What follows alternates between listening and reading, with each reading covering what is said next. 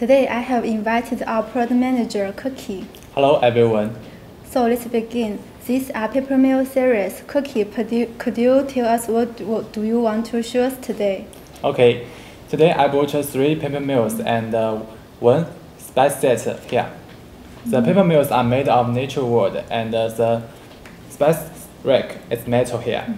The glass bottle fulfilled with the spices with the different flavors. So what's the function? How can we use them? Let me show you. This is a modern technology items with gravity sensor. You just uh, put it upside down, like here. Yeah, that's very convenient. Yeah, it's very easy. Yeah. Uh, why, why does our customer choose these products? What's the main selling point? For the paper mill, they are made of natural beech wood and uh, with the summer color printing. So it looks very fantastic. And uh, it also have a s- adjustable ceramic uh, grinder. You can adjust, adjust the grind, uh, setting with a simple turn of the knob here, like here.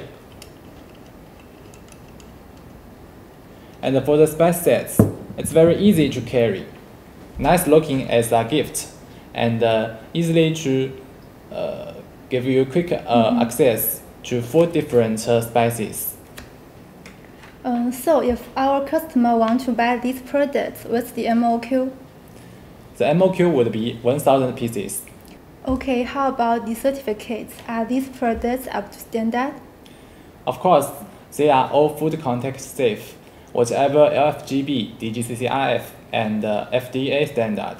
And for all spices, we have relative reports. Perfect. Can we put the logo on these products? Yes, uh, slick printing or laser. Okay, thanks for introduction. Dear customer, if you want to get more information, please feel free to contact us.